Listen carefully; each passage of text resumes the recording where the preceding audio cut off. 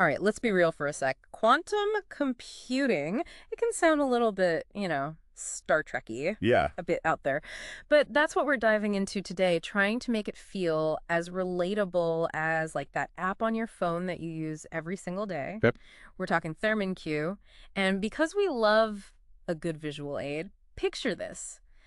You know that slide you sent over, the one with that crazy intricate circuit board? You talking about slide one? Yep. Yeah. Yeah, it's uh, a lot. It kind of looks like, honestly, if you opened up my brain on a Monday morning, it would look a lot like that circuit board. Sure. But that's the challenge that ThereminQ is tackling, right? It is. Because quantum computing, it's rapidly evolving, but it feels like a bit of a hodgepodge right now. It does. Yeah, I mean, think about it. I mean, there are a lot of different systems. There are a lot of different tools out there, and they don't always play nice with each other. Hmm. And that lack of standardization can be a real barrier. Okay. You know, to, imagine you're trying to bake a cake, right? Okay. But every ingredient comes with its own set of instructions and measurements. Chaos. Total chaos. And you end up with a real mess. So ThereminQ, they want to be that common recipe book, right? hmm For the quantum world. So instead of this like jumbled mess of kitchen gadgets, we end up with a really streamlined, efficient setup. Yeah, exactly. Okay, I mean, okay. ThereminQ is all about bringing order Yeah. to that quantum kitchen, if Yeah. you will. It's about making it easier for researchers, developers, really anyone to come in and work their magic. Yeah. And to me, it's like the difference between building a house with just hand tools versus having, you know, your power tools and everything. You can still get the job done the old way, but it's going to be a lot slower and probably a lot more frustrating. More painful. Yeah. a lot more painful. Exactly. So it seems like ThereminQ, the- it understands that. Like a contractor who needs the right tools, you need the right tools and workflows in quantum computing as Yeah. well. And that's where this whole concept of data ops comes in, right? Exactly. And data ops, it's all about bringing those principles of, you know, efficiency, continuous improvement, you know, ideas we've seen work in other fields like manufacturing, like software development, agile, DevOps, lean, all that, bringing it to data. So taking what works and applying it to this new world. Exactly. I like that. Mhm. Okay.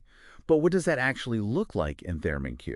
Well, if you flip to slide three, you'll see there's that infinity symbol. Okay. And that symbolizes that kind of iterative nature of data ops, this constant cycle of building, testing, releasing, deploying, operating, monitoring, you know, all over again. Yeah. And ThereminQ really bakes that right into the platform. So it's not like a one and done. It's this constant refining, optimizing, It is. kind of like a chef tweaking a recipe. Exactly. And that tweaking, that iterating makes a more reliable experience. And that leads us to this idea of, and I'm going to quote them directly here, every time a clean room experience. Okay. Every time a clean room experience, it sounds a little clinical, a little sterile. It does. But for someone using ThereminQ, break that down for me. What does that actually mean? So what it means is no matter what system you're using, you're on, what environment, Hmm. ThereminQ wants to make sure that you have an experience that's predictable, it's reliable, it's enjoyable even. It's about removing that friction, that frustration that we know comes with working in a field this complex. So no more late nights, banging your head against the keyboard, trying to figure out why your code works on one quantum computer but not the other. Yeah, none of that. Okay. No more of those headaches. And in fact, they lay out how they're going to do this on slide five. Okay. And a big part of it is automation. Automation, music to any developer's ears. Less time wrestling with the tech, more time for those aha moments. Exactly. And I'm also seeing this emphasis on trust and collaboration. For sure. That seems like a key part of their approach as well, at least based on point two here.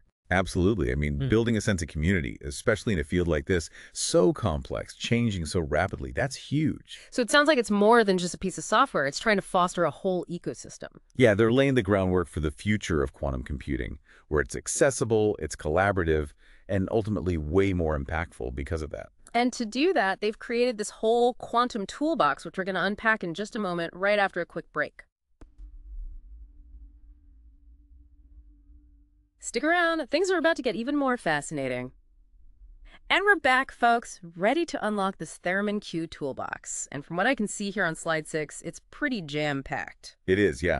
They really want to be the one-stop shop for all things quantum computing, no matter like your level, if you're just starting out or you're knee-deep in research. So there's a little something for everyone. But to make this a bit more concrete, can you walk us through a couple of the tools that really show us how ThereminQ works? Yeah. So let's look at, for example, ThereminQ TNND, which stands for, get ready for this, mm-hmm. Deep Tensor Neural Network. That sounds a little intimidating, not gonna lie. It's a mouthful. Yeah, like only a supercomputer could handle that. Right. It sounds complex because it is. Yeah. But that's a perfect example of how ThereminQ takes something very complicated and makes it, you know, user-friendly. Deep tensor neural networks, these are a type of AI, and they're really good at taking huge amounts of data, making sense of it, making predictions. They're already used in things like, you know, image recognition, even understanding what you're saying right now. Okay. Natural language processing, as it's called. So serious AI firepower here. It is. But how does that work in the quantum world? Yeah. So imagine, let's say you're a researcher, you're trying to, I don't know, design a new drug. Okay. You have tons of data on molecules. A quantum computer, using something like ThereminQ TNND, could go through that data way, way faster than a regular computer could. And maybe find those drug candidates, those breakthroughs, in a fraction of the time. So it's like having the superpowered research assistant just churning through data, finding those hidden connections. Exactly. Yay. But then you've got all this data. Yeah. Right. Quantum data is messy. Right. So that's where something like ThereminQ Bonsai visualization comes in. Okay. This is about taking that quantum language and turning it into something we can understand. So instead of just having raw data, we're talking about like those amazing pictures we see from telescopes in space, like really being able to visualize it. Exactly. You're getting it. ThereminQ Bonsai visualization lets you play with that data, but in a visual way. So you can spot patterns, you can see the connections. So again, it seems like that's the theme with ThereminQ, right? Taking something that's really complex and making it user-friendly. Yeah. And that idea of the user, how they're going to use it, that's huge when we're talking about how it's deployed, how it's accessed. So you're talking about slide seven now, spotlight on workbench, from data center to workstation. Yeah. Sounds fancy, but break it down. So think about it. Right now, if you want to work with a quantum computer, good luck. You need to be in a special lab, a data center, it's a whole thing.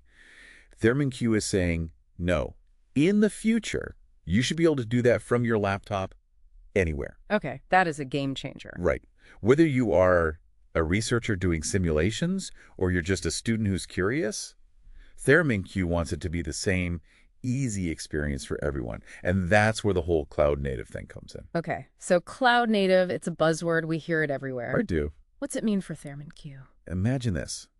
Instead of needing to buy like a whole set of encyclopedias taking up all this space, Yeah, you can just open up Wikipedia on your phone right now. right. That's kind of the cloud. It's like those resources, those services, but you access them remotely whenever you want.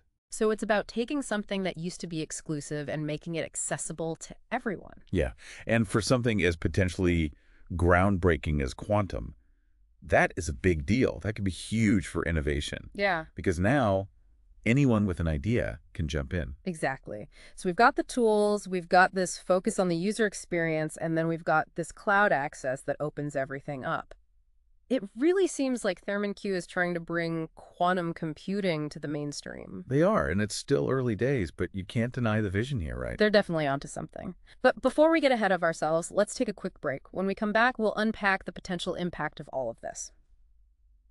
Okay, so we've talked about what ThereminQ is, this whole toolbox idea, and how they're doing it, that whole data ops thing, making it easy to use. But now, let's talk about the why. What's the big picture? Why does all of this matter?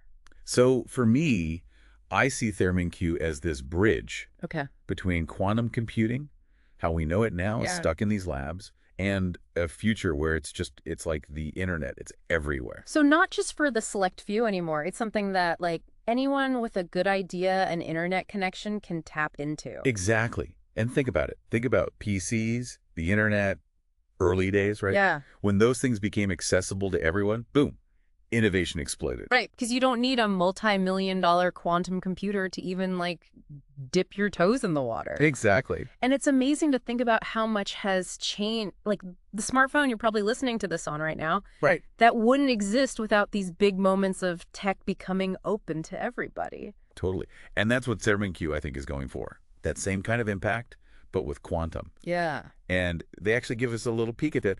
On slide eight, there are some demo links. Demos. All right. The proof is in the pudding, right? What kind of sneak peeks are we talking about? Well, there's one to explore their whole ecosystem. So I'm guessing like a deeper dive into how everything works together. Mm-hmm. There's one for their VDI workbench, which sounds like it's all about that remote access, the collaboration part. Okay. But then there's this desktop overlay demo. And that one, that's got me curious. Ooh, desktop overlay. What could that be? Right?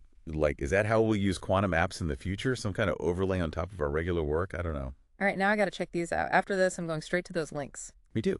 And that's what gets me excited about ThereminQ. It's not just, here's the product done. It's like this living thing, always changing. Like quantum itself, always evolving. Exactly. And that's why these tools are so important. It's not just about the tech, it's what we can do with it. I mean, medicine, materials, AI, who knows? It's exciting, but also, like, kind of daunting to think about. It is. But thanks to you, I feel like I actually get ThereminQ now, what it is, why it matters. Glad to do it. Love a good deep dive, especially when it's something this groundbreaking. And a huge thanks to all of you for listening, for joining us on this little journey into the quantum realm. Yeah, thanks everyone. And hey, don't forget to click those demo links. Let us know what you think.